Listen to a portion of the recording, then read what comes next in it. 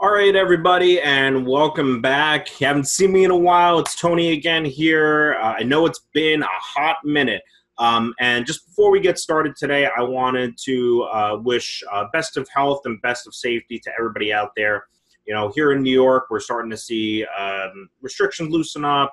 Um, obviously, there's a lot going on in the world, and um, uh, here in New York, obviously, we're starting to see reopening phases, but as at the same time, parts of the United States, many parts of the world, still going through the midst of the coronavirus pandemic. So again, best of health and safety to you, your loved ones, um, your colleagues, everybody.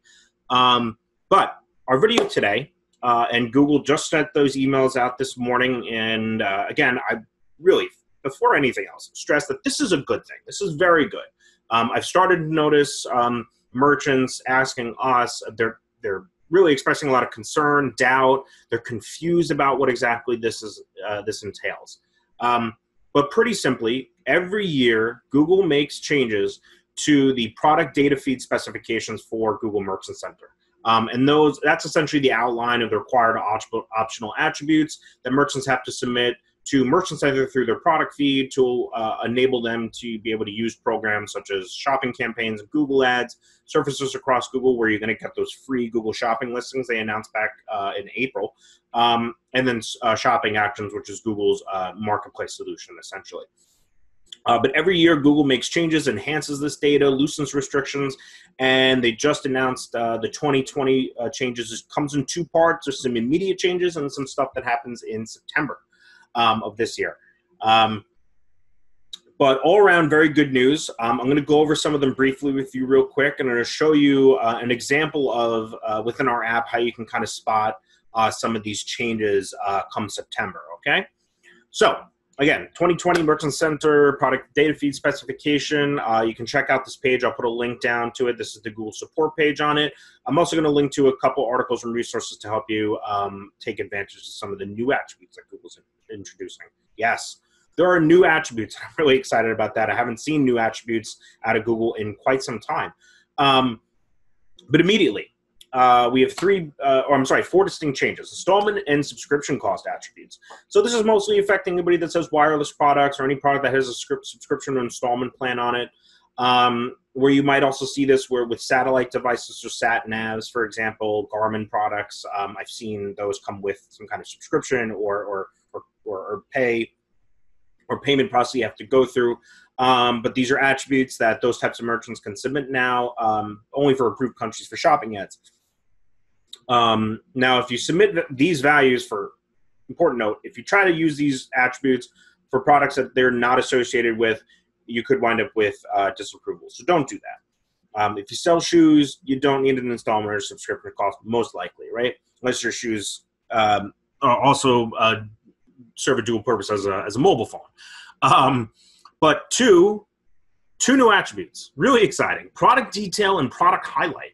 Um, much like product descriptions or product titles, uh, this seems like these seem like two attributes we can start to enhance product data with, um, give data more data, uh, give sorry Google more data and more data quality, so that your products have a better stand a better chance of showing up in the search results when it's matched to a query of, of a potential shopper. Uh, the detail attribute is um, essentially an attribute you can provide additional technical specifications that other aren't covered in, let's say, your product description or your product title, maybe even your product type.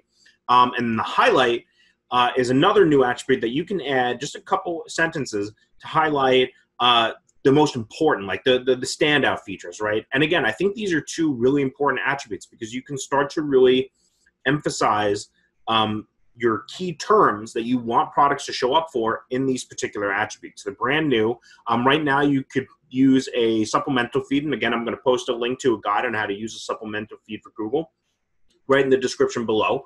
Um, but this is huge. I think that these could be extremely beneficial, um, and and our team is working with Google and and uh, on bringing these attributes into our app into sales and orders, so you can begin to um, add them or optimize them within our app.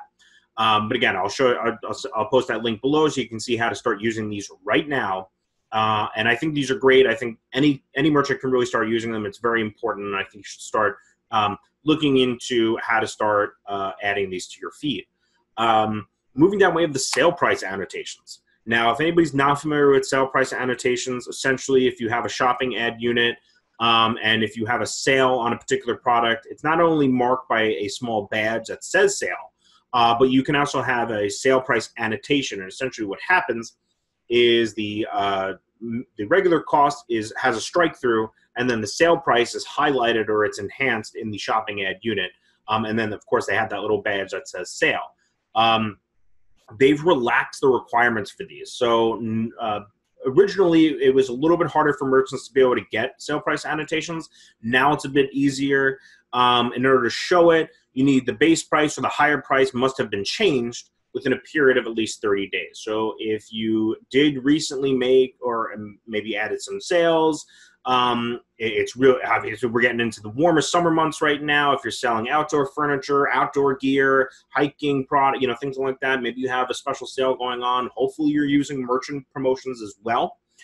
But uh, merchants might actually might have a better chance of having sale price annotations uh, on their shopping ads. They're relatively uncommon. I don't see them that often. Um, but again, it's it's automated. You don't have to do anything more than submit a sale price through the feed, um, and obviously have your regular price in there as well. But Google is going to automatically determine which products are eligible for the sale price annotations. Uh, it's a great uh, relaxation. Um, I think it's going to help merchants um, substantially. And again, the theme of 2020 for Google is kind of twofold. It's been uh, to help merchants more easily surface their products on Google, whether that's um, obviously, with the, the free listings that came out, uh, enhancements enhancements to shopping ads, uh, shopping actions, obviously the marketplace solution from Google, um, and now sale price annotations. Um, and there's more to that. Um, obviously, this is all also to help consumers find more readily find products on Google, and in turn, more shop more uh, merchants can get their products in front of far more shoppers than ever before. Um, now, moving down, the changes that have that are coming up in September. Again, everybody, these are great. This is all great news, and I don't want anybody to stress about it. I, I don't want anybody to uh, have any confusion or concern. Um, it really isn't going to hurt you. None of these things are going to hurt you in any manner, shape, or form. Um, but essentially, Google. Now, a while ago, Google lessened its restrictions on um, GTINs. So those are things such as uh, UPCs or EANs, ISBNs for books, for example. Um, but though the, the GTIN is no longer required by Google, um, but as long as it is still submitted, uh, your well, your product ads have more of a chance of showing up essentially. Um, in that Google is going to register that you've submitted a GTIN, a UPC, for example. it's going to give your product ad more quality. Um, and it's for example you know if you submit one your uh, competitor does not you have more of a chance to show up than they do if you do submit a gtin um, now google's relaxing the restrictions for and these occur mostly for apparel and accessories merchants the attributes of gender age group size and color. Um, and these are a big point of contention for many merchants because um, it's it's uh, it's the one product category that you have to submit a lot more product data for than other uh, uh, product categories, for example. Um, but also back, a while back, Google um, started automatically mapping uh, products for Google product categories. Now, Google, Google, product category follows Google product taxonomy. It's designated designated by Google. Originally, you had to map it and submit it yourself, uh, or if you didn't, it just you didn't have one. Um, it doesn't necessarily help with data quality or enhancing shopping ads, for example but it is important, I would say, for the shopping tab and those free product listings. Because it's an, an ability. It gives Google more of an ability, or it gives shoppers a, a more ways to filter for products that they might be looking for. Um, now, with Google relaxing the restrictions on gender, age group, size, and color, first of all, for one, merchants that are having trouble submitting these, or if they've submitted before and products were disapproved and they just haven't had the time to be able to fill them in on their store and, and get them out to Google, um, your products are no longer going to be disapproved due to these uh, missing attributes. Um, however, much like the GTINs, um, there's going to be a um, limited performance due to uh, not submitting these particular attributes. It's a best practice. You should submit them. Don't Don't not submit them just because Google's lessening, uh, loosening the restrictions on them. Continue to submit them when you when you sell these products. Um, and it's important to note if you don't submit a Google product category within your feed, Google's going to automatically designate one for you. Now that means that there's a chance that your product could get tagged as a particular category that falls under these uh, requirements or even these loosening restrictions of, as of September, for example. Um, and you want to make sure that you are using tools like again like our app like sales and orders to map your categories so you can you know obviously you determine what your category is going to be. But it is only when google assigns or you assign a, a, product category that fits under the media or the the obviously the parent category of apparel and accessories it's only when your products get designated as such that they that google begins to start requiring gender age group size and color. Continue to submit them don't worry too much about it. Come september if you're not submitting them or if you haven't submitted them in the past uh, your products are still going to be eligible to serve on google. Um, they're just not going to have uh, as much of an opportunity to as compared to let's say your competitor who is submitting them right? Um, same goes for our description attribute and that comes up here. The description attribute is now technically optional i guess. Um, again google saying it's still required but if you don't submit one again uh, the product will still be eligible to serve but the performance might be limited please do not stop submitting or, or start writing product descriptions. They're incredibly important, not only for on-site purposes, but obviously within your feed. There, it's where you can uh, really uh, front load and and and and, ha- and put a lot of emphasis on your on your key terms for your products, such as again for your product titles, your your product type, for example, and description. Those are your key attributes for all that data. And now, obviously, we have the product detail attribute and the product highlight attribute, which you begin to use as well.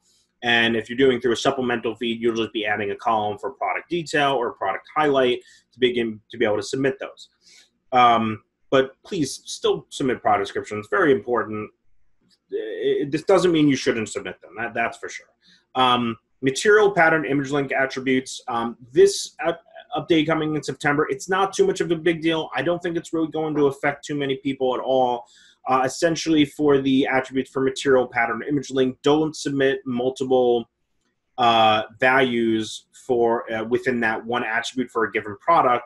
Um, for material and pattern, you can, but use uh, uh, slashes or hyphens. Don't use commas.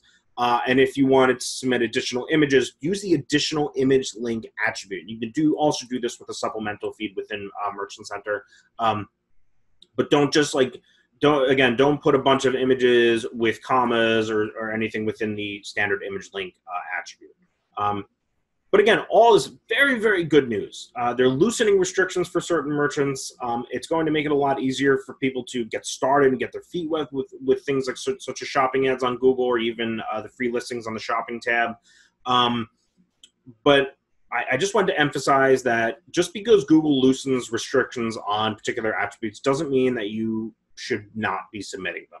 Um, if you want more quality uh, for your products, if you want more quality product data, if you want Google to recognize your products and and have a better chance to show up in the search results when somebody's searching, continue to submit these attributes, please. Now, uh, I, I, the one thing with this is I think the the key term here is the um, eligible to serve, but performance may be limited. So come September, I'm going to point out a um, wh- how you can see this, and if, I'm going to use our app to show you that. Um, but if you're uh, now we're in our in sales and orders right now, I'm in our demo accounts here. Um, if come September you're not, you know, maybe you don't have size, color, gender, age group and certain products. Um, I'll also show you really quickly how you can map those in our in our uh, feed tool. Very easy to do. Um, let's say you didn't submit those, you're not submitting those. Even you're not sending your description um, now that Google's made this update. Um, this is the warning that Google's going to give you. Now, again, it's unaffected. It doesn't mean that your product should disapprove. It just means that they're not going to um, show up as often when people search. Essentially, that's what limited performance means. But you should really keep an eye out for this. It's in Merchant Center, or if you're using sales and orders, you can do this right in the issues tab. You come down under account issues, and you're looking for limited performance due to missing value. And in this case, we have the missing GTIN. As I had previously mentioned, this is when Google a while back had loosened restrictions on GTINs, and this is the error code that you're going to be looking for. Now, be sure to keep an eye out for it, um, and where you can, when you spot this, try to ensure that you're um, going back and you're uh, you're updating your products uh, in your site. Um, and if you're using your app, you're importing your products, sending it to Google to clean up and make sure that your products are showing up um, and that you stand a chance. Again, if your competitors are doing it, your products stand less of a chance to show up uh, when somebody searches online if you're not submitting these attributes. Now, again, for things such as uh, age group and gender, very easy to map in our tool. If uh, you haven't been able to do that in your e-commerce store, for example, and you're using our app, after you've installed and you've got connected, you come over to the modified products tool, you click on attributes such as age group, and you can build a very simple rule. Let's say you only sell adult products for adults. You can literally map every single product to the uh, age group for adult, save, send out to Google, and you're all done. Um, and again, please uh, do me a favor. Check out the, the the video description below. I have a couple of links. I'm going to submit one. For, I'm going to put one in here for um, using a supplemental feed. Uh, I also put a link to the article from Google. Um, and again, if you have any questions, you have any concerns, if you're working with us already, for using our app, jump in, hop on live chat with our team. Um, very easy to do. You can just open up a live chat uh, question with us, and you can ask us about this at any time. Um, if you're having, if you're confused about it, if you're worried about it, if you need to know where to find certain uh, information within your sales and orders account. Obviously, you can uh, live chat with our team. Oh, also in the description, a guide to supplemental feeds. So you can actually see how to do that at Merchant Center. So you can begin to start using some of these new attributes, such as your product details and your product highlights. All right, everybody, it's been a great time. I um, I'm really excited to be back online here. I've uh, been very busy for quite some time, and um, happy to get back into the swing of things. Be doing uh, a few videos uh, every week. Uh, stay tuned if you get an opportunity. Subscribe to our channel. You can hit us up on Twitter, on uh, Facebook, or even on LinkedIn. Um, and again, stay healthy, stay safe, and remain informed. All right. Have a good one, everyone.